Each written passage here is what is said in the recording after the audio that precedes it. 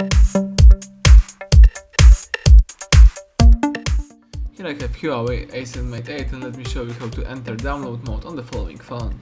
So at the very beginning let's start holding power key for a few seconds, tap power off and touch power off one more time to confirm the whole operation. Wait until your phone is completely switched off. And afterwards let's use the following combination of keys, volume down and volume up.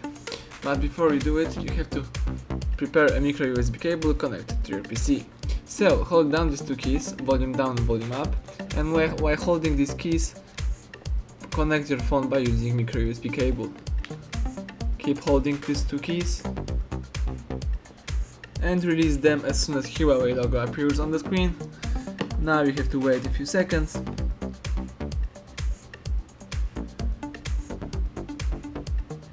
Excellent, the download mode just appears on the screen.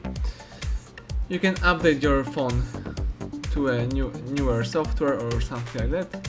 Or you can simply quit this mode by long pressing power key. So let me show you. Keep holding power.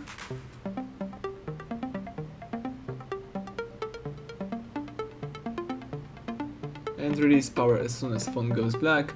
Now the device is resetting and rebooting. You can disconnect your phone with your computer and wait until your device will be ready to use.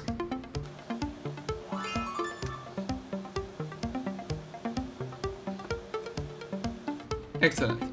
Now you can use your device. Thank you for watching, please subscribe our channel and leave thumbs up under the video.